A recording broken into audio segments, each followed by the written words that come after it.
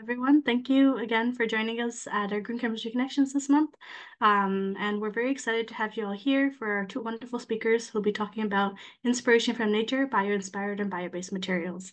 Um, before we get started, we do want to remind you that the event is being recorded. Um, while it's expected that the video feed will focus mostly on the presenter and their slides, um, your voice and video feed might appear at some point. So by attending this discussion, you are giving us consent to post this video and audio of you online. Um, again, more details of this are in the chat if you are interested, um, and thank you for joining. So before we get started, we'll introduce ourselves. So my name is Gagan. I'm a PhD student at McGill University, and I'm joining you here from Montreal, Canada. Um, and I'll pass it on to my other co-hosts. Uh, I'm Sarah, and I'm also a PhD student at McGill University, so I'm also here in Montreal. Hi, my name is Jasmine Hong. I am also, like Sarah and Gagan, a PhD student at McGill University, and I'm excited to see you all today. Hello, everybody. I'm Cintia Milagre. I'm an associate professor. I'm joining from Brazil. Hi, everyone. I'm Oyesholakbe Akishipo from Nigeria, Tai Solarin University of Education. I'm a senior lecturer in the Department of Chemistry.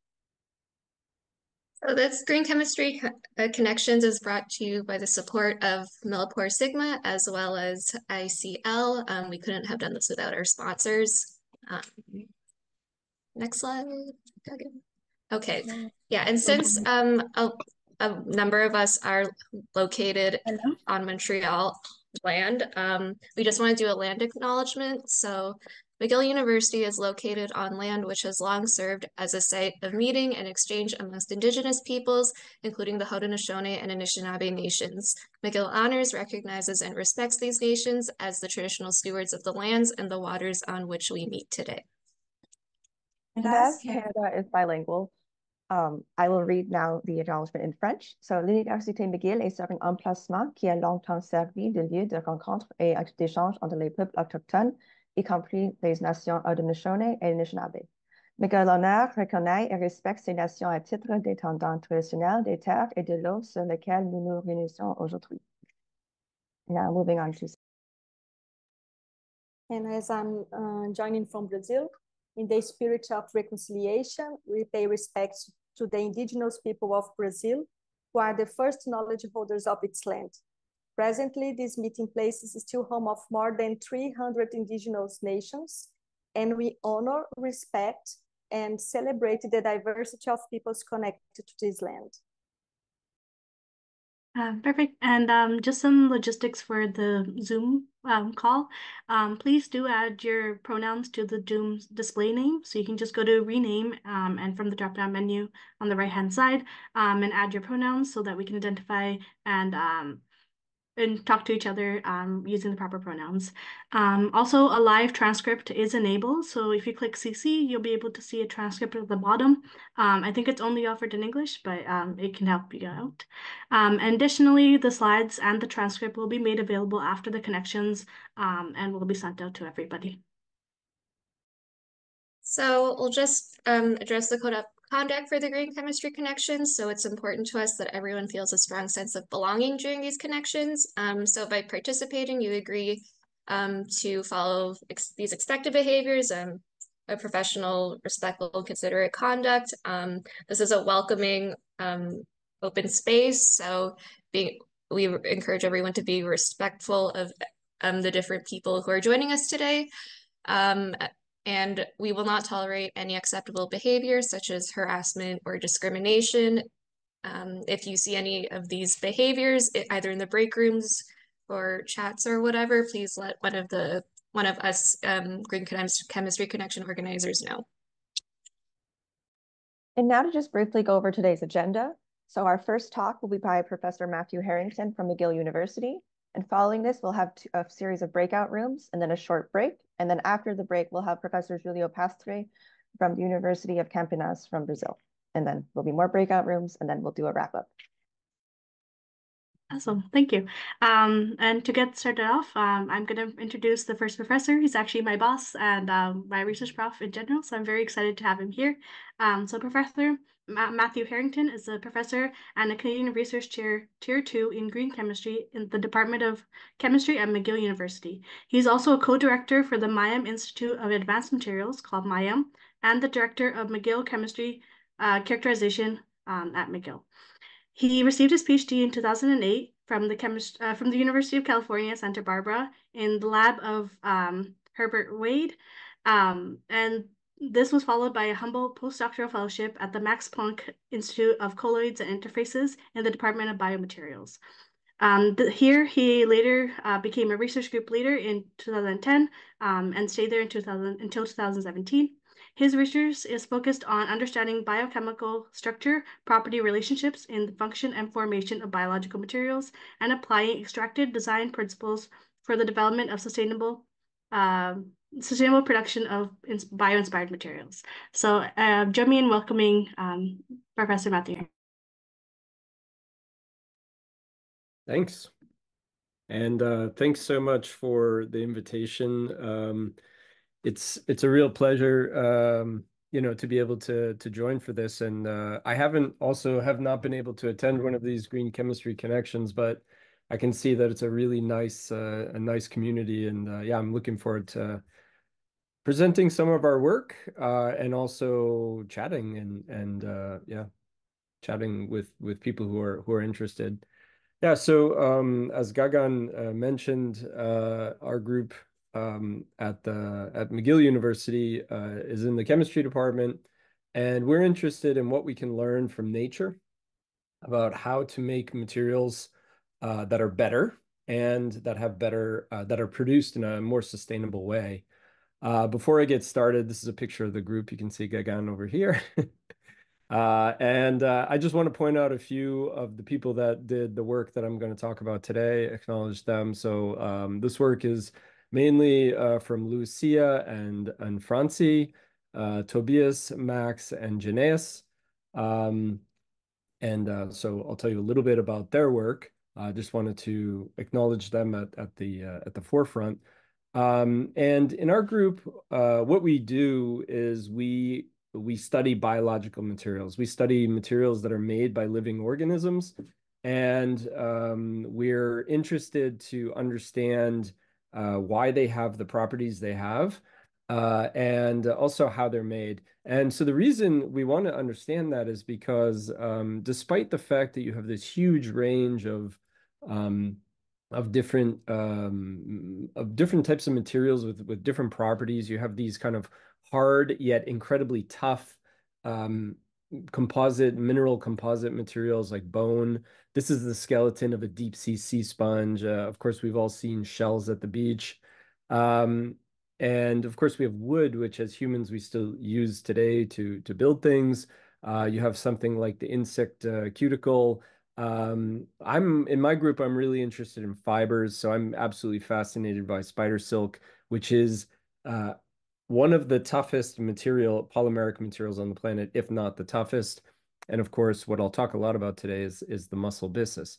So despite this diversity, this amazing diversity of different properties, um, the starting materials that are used to make um, biological materials are pretty uh, meager. Let's say they're they're pretty uh, basic, right? Uh, I mean, it's proteins, sugars, and fats, right? I mean, this is things you find in in a description on a cereal box or or uh, you know in in any food uh, ingredients. And then you have things like calcium carbonate uh, you know glass silica hydroxyapatite which is a, a calcium phosphate based uh, mineral. These are really basic ingredients and yet we can achieve the most amazing material properties using them. And nature has tricks how it does this right um, it, it uses something called hierarchical structure to, to achieve these properties. It arranges material components like proteins and minerals in ways we can't even dream of, uh, and it achieves these amazing properties. So one of the things we want to do is learn how to make better materials. We want the, these materials, like I said, spider silk, toughest material on the planet, uh, toughest polymeric material on the planet, blows away our our polymers, uh, our plastics. Yet these materials are also made in a completely biologically friendly way. They have to be. They're made by living organisms, right? So by definition, they are they're biologically friendly. Um, so we we want to borrow from nature to make better materials, and what I mean by better here is high performance. They have great properties, and they have so-called smart behaviors like self-healing properties, or um, you know, actuation, or you know, underwater adhesion, things that we can't really achieve at this point. Uh, and when I say in a better way, I'm talking about materials that are produced sustainably um, and uh, that are also biodegradable. Um, so in our group, we focus on a number of different types of organisms. I've been studying the mussel byssus since my PhD, so that's going on, uh, I hate to admit it, but like 20 years now. Uh, I've been focusing on these little fibers, and every time I try to get away from them, I get sucked back in because there's something really interesting about them uh, that I discover, and I hope you'll see that today.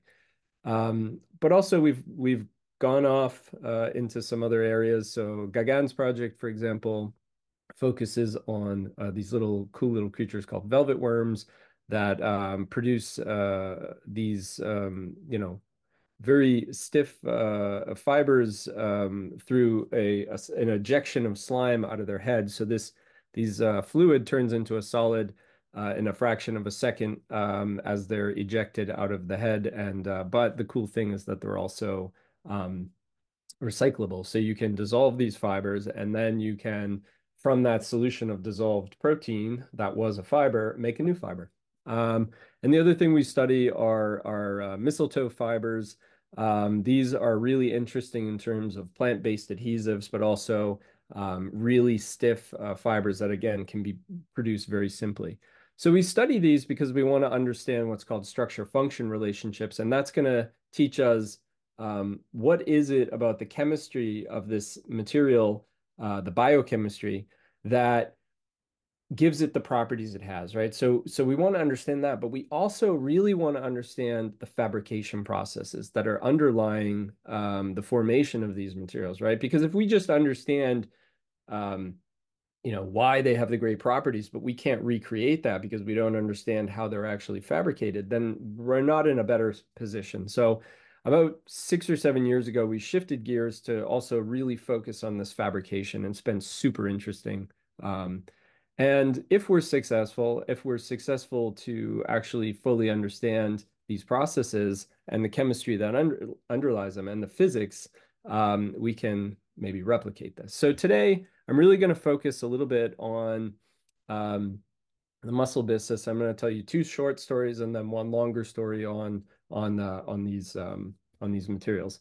So the byssus uh, is what we call this thing, and it's made up of you know 50 to 100 fibers that are then glued onto an underwater surface, um, and they're incredibly strong. They function to prevent the mussel from being ripped off from waves. And to show you this, uh, we have a little video here of uh, Max uh, pulling a mussel attached to a rock out of our tank, and now he's pulling on the rock, and he's going to try to rip um, the mussel off the rock. And you can see we're generating really high forces. Um, and eventually it comes off. And what you'll see is that the byssus remains entirely intact. We did not break these fibers. They're incredibly tough. They can take a lot of energy and forces before they fail. In fact, you can see little pieces of the surface of the rock that have like peeled off. That's how that's how effective this underwater adhesive is, right? So um, if we kind of break down what is this thing, um, you can see, well, yeah, there's this fiber. Um, and this fiber is attaching uh, the mussel to a stone. This is the underwater adhesive.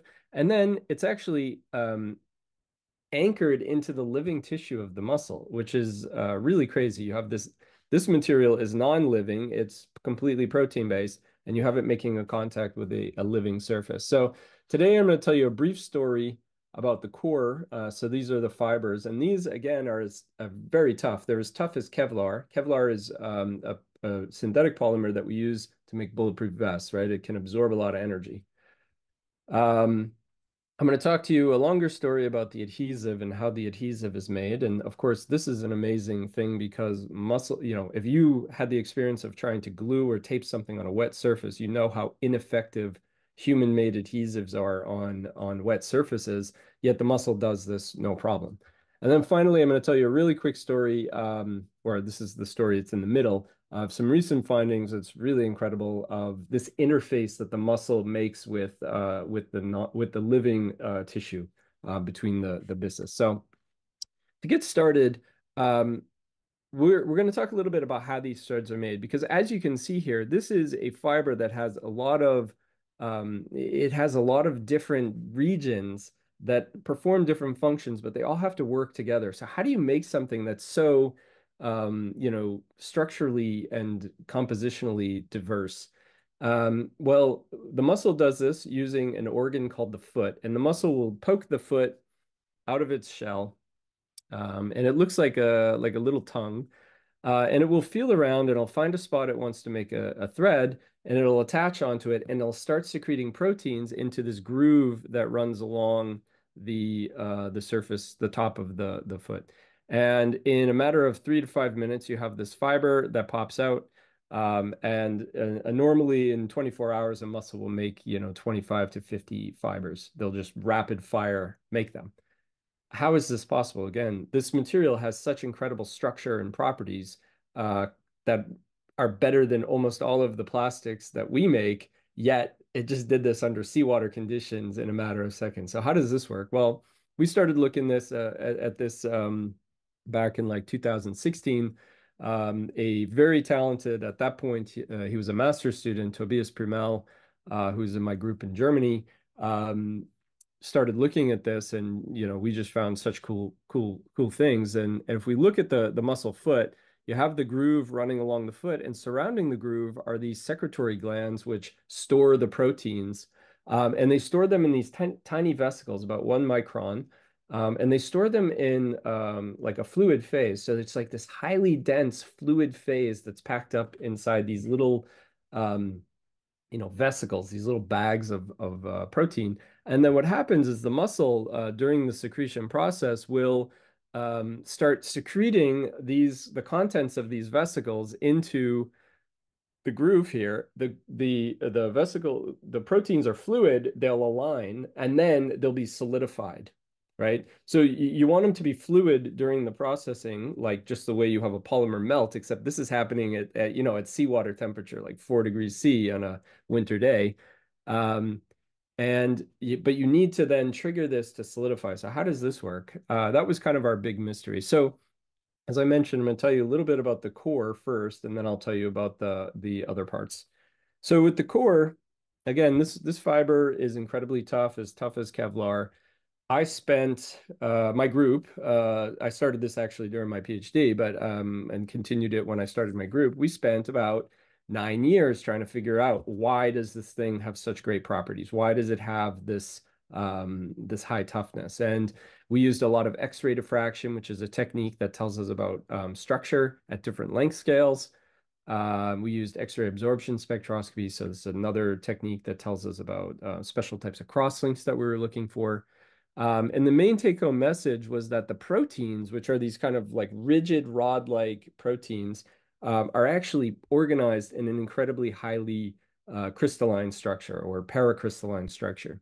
So beyond, you know, a normal polyethylene, um, you know, um, uh, semi-crystalline polymer, I mean, these are way more crystalline. And it's actually that that high degree of structure that gives us the um, the great properties. So we wanted to understand, well, where does this like incredible structure come from? So we started studying these vesicles that were inside the foot.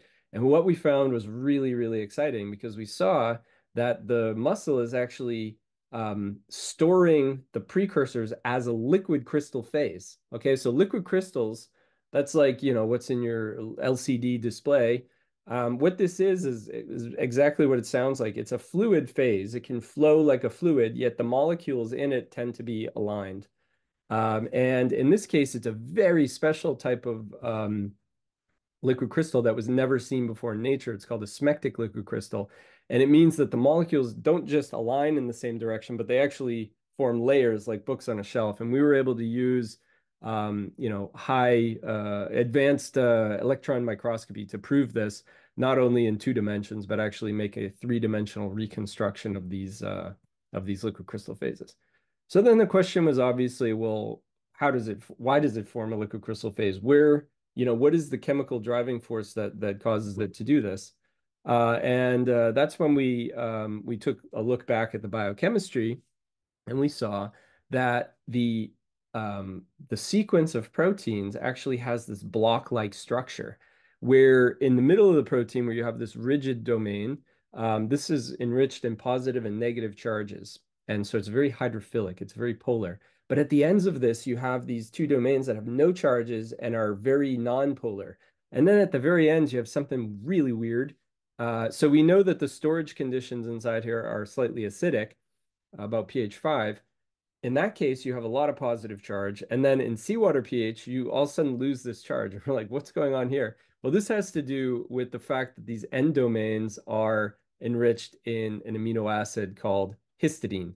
And histidine has a pKa at 6.5. So that means at acidic conditions, it's going to be protonated at um, basic conditions, it's going to be deprotonated.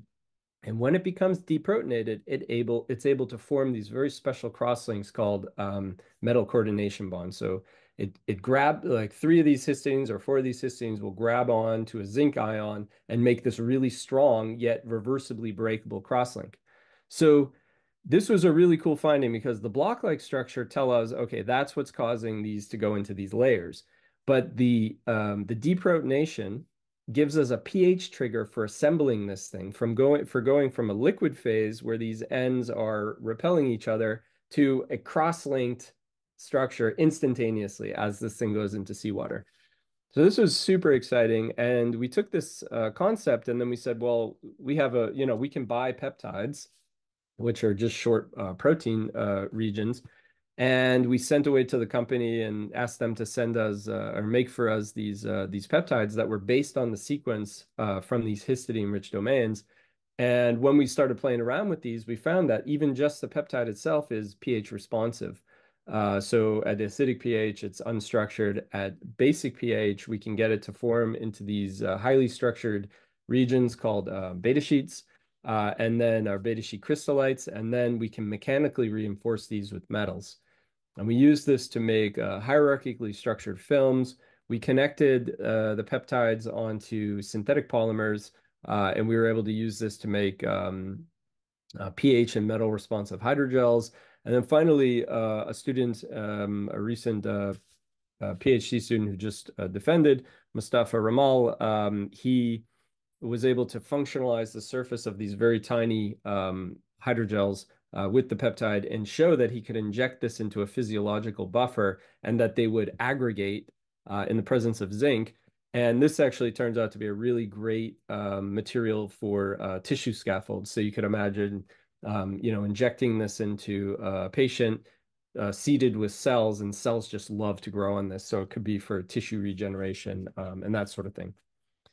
Um, so yeah, so it told us that if we understand the chemistry behind the behind how this all works, uh, we can actually make some new really cool materials with with interesting properties. Okay, so I'm going to switch gears really quick here, and I'm going to focus on this living non-living interface, which was a project we started about um, three or four years ago uh, with a uh, an undergraduate uh, who who attended my advanced materials class, who uh, Janaeus, who was just really um, interested to join the lab, and I had this as kind of a side project. I said, "Yeah, let's try this out," because nobody had really ever looked at this interface between the living non-living material. Now, why would we be interested in that?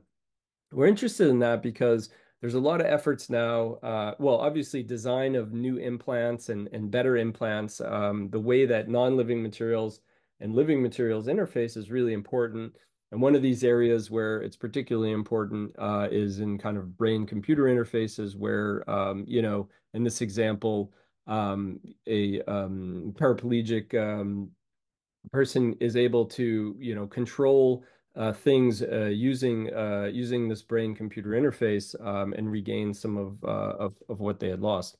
Uh, but there's some real challenges there for making this interface because this material is very hard your brain is very soft and you can actually have um, you know mechanical and, and and mechanical damage at the interface which uh, is a problem so we looked to nature and we said well you know we know that the mussel actually makes this really strong interface um, you know, we, we I showed you that video earlier. You know, it can sustain about 20 newtons of force um, before it will actually, uh, you know, the the byssus will pull off the rock. So it's very strong. But the crazy thing is that we noticed that the mussel would sometimes just completely let go of its byssus and make a new one. So it's it's it's uh, quick release. You know, it, it's releasable. So we got really interested in that. And um, if you look here, uh, this is a mussel that's been opened, and we can see here all the threads are actually attached onto this thing called the stem, and then the stem actually anchors into the tissue. But of course, we can't see uh, inside this tissue. But if if uh, we found a, a byssus that actually has been released, this part here is called the stem root, and the, this is what's inside the tissue.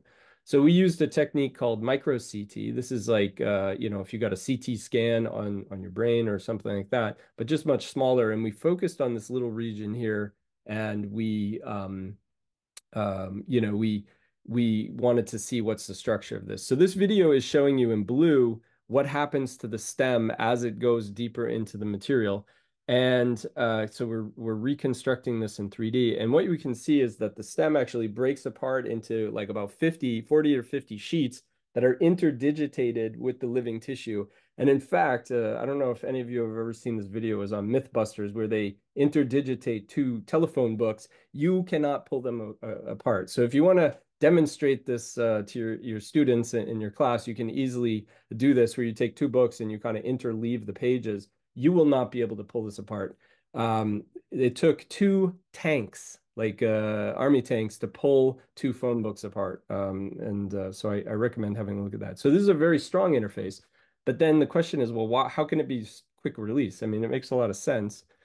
Uh, so then we used another technique, focused ion beam SEM, to reconstruct this at a much smaller length scale. So these light blue things are these sheets.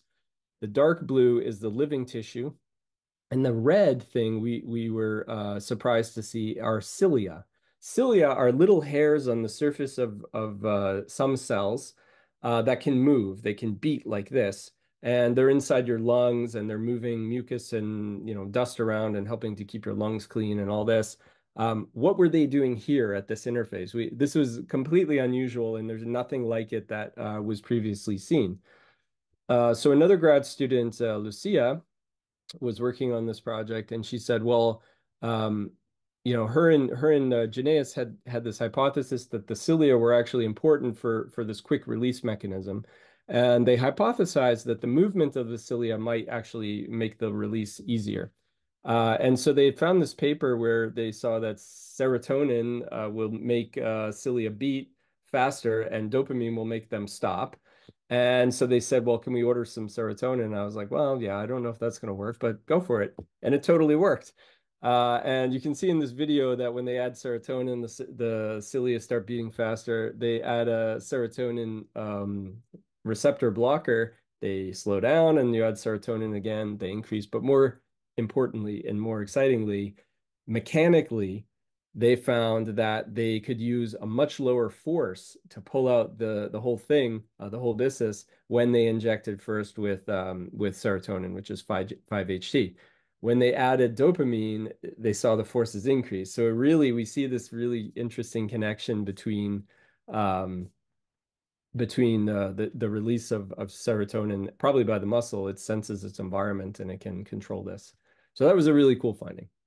Um, okay, so the last story I want to tell with my remaining time is kind of about underwater adhesives. So um, mussels are able to attach on wet surfaces. As we already mentioned, um, you know, mm, we're not that good at that right now, right? If you if you take a scotch tape or whatever, put it on a even moist surface, you're not going to get good adhesion. That's because you have to displace the water. Um, yet mussels are highly effective at this. We would love to be able to do this as well for things like dental cements and surgical glues. Uh, and here the mussel is laying down uh, fiber after fiber just with, with zero effort. So how does this work? Um, it was discovered through, you know, 20, 30 years of biochemical investigations in the old school way before everything was kind of possible through proteomics and transcriptomics um, that adhesion is really based on the, the uh, effect of two proteins, which are enriched in this really unusual amino acid called uh, 3,4-dihydroxyphenylalanine or DOPA. Now, Uh, why is it unusual? It's unusual because it's not one of the 20 standard amino acids. In fact, the organism takes uh, a tyrosine, which is one of the normal amino acids, and uses an enzyme to convert it to dopa. That costs energy. Evolutionarily speaking, um, something that costs energy is not going to stick around if it doesn't serve a purpose. And it turns out um, that DOPA is actually really key in making adhesive interfaces with the surface, but also in forming crosslinks also with metal ions, right? So we talked about histidine before, now we're talking about DOPA.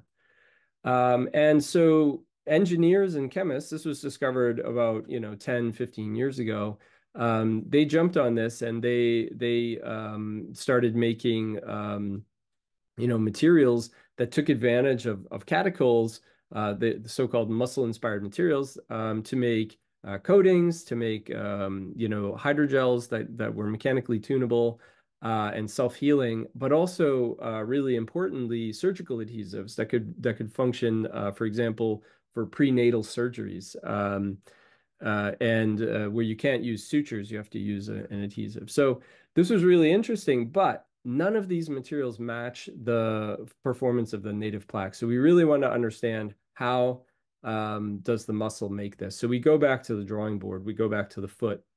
This is, again, another CT image of a foot. Um, and we can uh, use a 3D reconstruction of it to identify the glands where the, um, the plaque is made, where the adhesive is made. And that's what you're seeing in green here. And in blue, we were able to see these um, channels that are running through the gland, uh, which you can see here. And these channels, uh, we call the longitudinal ducts, are running from the gland to the place where the adhesive is made. And so this is a cross section of one of these channels. And what you can see is that these little um, droplets of adhesive precursor are surrounding this. Uh, if we look a little closer with electron microscopy, you can really see them here in green. And this is a nucleus, this is uh, mitochondria. This thing here is the inside of the channel, and it's again filled with cilia that help to move um, the protein along. And this is just a three-dimensional um, reconstruction of this uh, using Fib-SEM again, but you can really see how these are lined up to be secreted. Uh, one of the weird things that we discovered while we were there, though, um, so we used a technique called Raman spectroscopy, and this gives us fingerprints for specific um, components here. And so we were, you know, verifying, okay, in green here, um, all these pixels here have uh, a spectra that looks like this. Oh, that's our protein. In red, okay, that's that's definitely a nucleus. Um, in blue, okay, that's the signal for cilia, right? So we could identify these things. But we kept seeing these um, pixels that uh, had this really weird signal. I mean, we knew what it was, um, but it just didn't seem like it should be there, right? So this is a, a signal for one of these dopa metal coordination uh, bonds. Um, now the protein, which we know ends up being cross-linked with these metals, is here, and there are no cross-links. So this seemed to be a place where the mussel is actually storing the metals uh, prior to secretion. And we were able to prove this using um, technique called X-ray fluorescence. Um, and what really surprised us is that the metals, uh, that the metal that the mussel was mainly using was iron, but also vanadium. Uh, and vanadium was uh, is a metal that's very rarely used in nature because, well, often it's toxic. Um, but the mussel was somehow using this and it was um, uh, pure, it was concentrating this in its body in these tiny little particles that we called the metal storage particles. And so we wanted to understand like, well, what role do the metal storage particles and um, the proteins play together? Uh, and we hypothesized that they might be co-secreted and then they're being mixed inside these uh, channels and that this is what's allowing them uh, to be formed in this kind of very subtle way to give them their excellent properties. And so what you can see here is a, is a still of this kind of three uh, dimensional image uh, where you can see the vesicles being secreted into the groove or into the duct. And here is the formation of the adhesive. Uh, again, using Raman spectroscopy, these are pretty pictures, but it doesn't give us uh, any compositional data. So with Raman spectroscopy, we're able to trap this at various time points. And anywhere you see green is our protein. And anywhere you see pink is where you get metal coordination. So you have metal coordination in the storage, uh, stored in the metal um, storage particles. And inside the duct, you have some protein that's been secreted. This is an early stage. At a later stage, we see the protein filling the duct and we see little particles in there, but um, the protein remains uncross-linked. However, at a later time point, you can see that the metal from the metal storage particles is actually spread out to the protein and started to cross-linking it. So this you can imagine kind of like a two-part epoxy, um, and uh, that's slowly slowly being mixed together to form this this highly effective underwater adhesive. Um, and if we take the the ratio of one of the protein peaks to one of the metal coordination peaks, you can see how this metal coordination is actually spreading out um, from these hotspots, which were the uh, the metal storage particle. So we think that uh, what we see here is is going to give us some new insights into how to make um, better underwater adhesives uh, more effectively uh, and more sustainably. Uh, so this is just a, a quick overview of uh, kind of the, the mechanism we think at play here. So we have these little fluid droplets which mix together with the metal storage particles uh, at low pH, and then the metals leach out from the metal storage particles, and then as this reaches seawater, um, it becomes um, cross-linked and um, and hardens and uh, and glues onto the surface. So um, in summary, uh, so that that's that's the end of the talk now. Uh, I just I hope I could convince you that um, nature holds all these secrets. We have no idea. I mean, you you probably eat mussels. Maybe you don't, but if you've you, if you've ever eaten them, you probably will pull the byssus out and throw it in the trash and not think twice about it, and you'll eat the mussel. But I I would ask you to just pause the next time uh, you might, even if you go to the beach and you just see a mussel, you're not eating it, right? Uh, just pause and appreciate the complexity of this little tiny fiber and what it can teach us about like life uh, and and how to make better materials. And also imagine that there's so many other systems that nobody's ever looked at.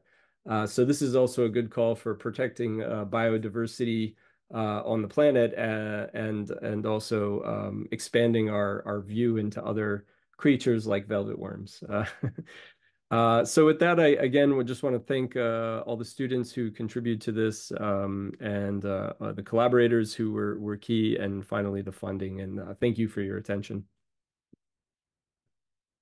Okay, uh, thank you, um, Professor Harrington. Um, it was it's always great to hear about the work again, even though here maybe on a daily basis, but it's always fun. Um, so now um, we're gonna have our breakout rooms. So I'm just gonna set those up. And if you're interested in talking to Professor Harrington, please join his group. Um, we also will have a breakout room for the Beyond Benign team. Uh, if you have any questions for us in general. Um, and we will be back probably closer to one, um, right before we have our break.